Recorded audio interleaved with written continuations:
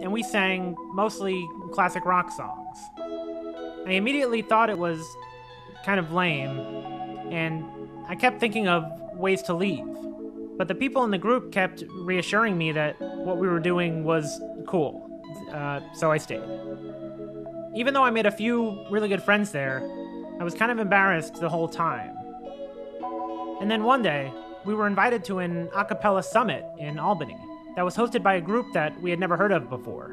And the whole thing took place in a windowless building called The Egg. The event was called Acapella Innovations, and it was hosted by a man named Keith. He didn't have any background in acapella, but his bio said that he was one of the world's top three problem solvers, whatever that meant.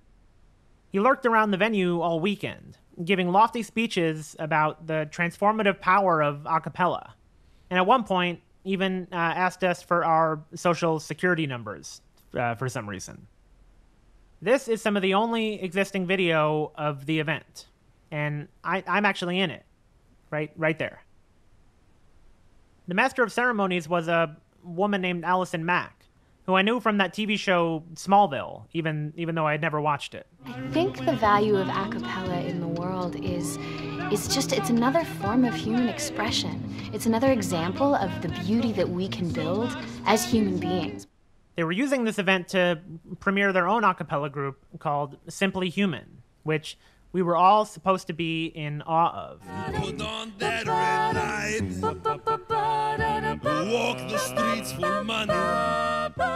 I can tell that they were horrible watching it back now, but for some reason in the moment, I genuinely thought they were just as good as they said they were. Roxanne! You don't have to sell your body to the night. When we finally had some downtime, we decided to Google Keith and everyone there for the first time. Their organization was something called NXIVM, and Keith was on a bunch of cult watch websites for running multi level marketing schemes.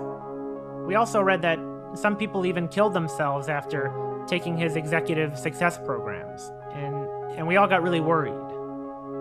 They had set up this event to groom undergraduate students to join NXIVM. In their eyes, being into a cappella had pre qualified us for a cult because we were so eager to be accepted. At the closing night party, we all decided to confront them. We screamed at Allison Mack and Keith Raniere in front of uh, the rest of the a cappella groups and scrawled the names of the suicide victims on the whiteboards that they had set up on the walls. It caused a massive controversy in the a cappella community. There was a really long thread on the on the a cappella message board afterwards.